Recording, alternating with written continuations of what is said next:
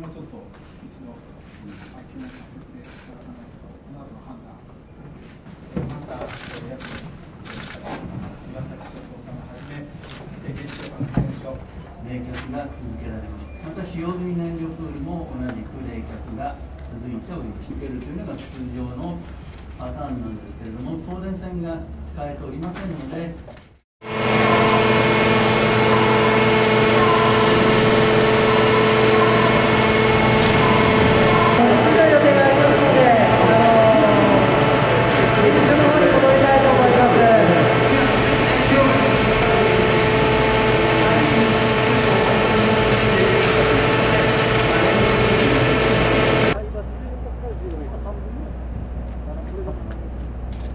Thank you.